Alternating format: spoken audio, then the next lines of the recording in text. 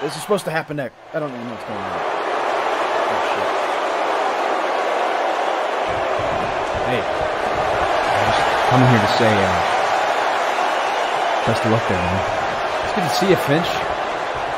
Thanks.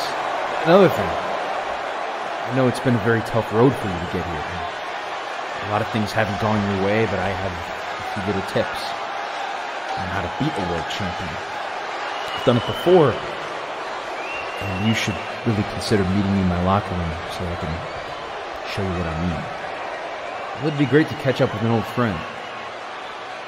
But uh, I, I think I know what you're talking about, and if that's the case, I'd rather just do it my way, man. No, no, no, no, no, dude. Not, not that. No, not that, dude. No, you've got the wrong idea. It's just from experience. you know. If you want to meet me up in a little, then let's connect, you know. If not, dude, best of luck, man. Thanks, dude. Thanks. Castro Finch just try to give hope to. Oh shit.